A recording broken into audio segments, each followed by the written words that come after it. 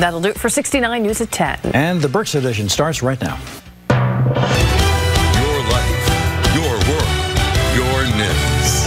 This is 69 News Berks Edition, live at 1030. Good evening, I'm Wendy Davis. And I'm Rob Vaughn. Most of the state has moved to the least restrictive green phase of the governor's reopening plan, and it sounds like Berks County may be closing in on that milestone as well. Yeah, County Commissioner Christian Leinbach tweeted great news for Berks County this afternoon. He says the rolling two-week average of coronavirus cases in Berks fell below 200 for the first time since April. He added, green, here we come. He says an announcement is expected tomorrow at noon. Governor Tom Wolf has been announcing the reopening phase changes on Fridays, one week before the changes take place. Tomorrow, Schuylkill and seven other counties will move into the green phase.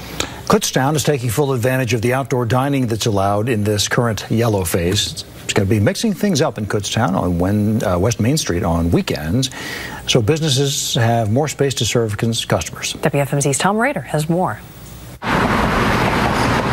Businesses in the borough of Kutztown have been doing the best they can to thrive in the yellow phase. A lot of the restaurants have done well as far as how they're setting up their take.